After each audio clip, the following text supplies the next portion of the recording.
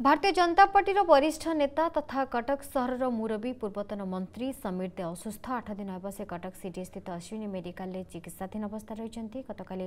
ମହିଳା ମୋର୍ଚ୍ଚାର ପୂର୍ବତନ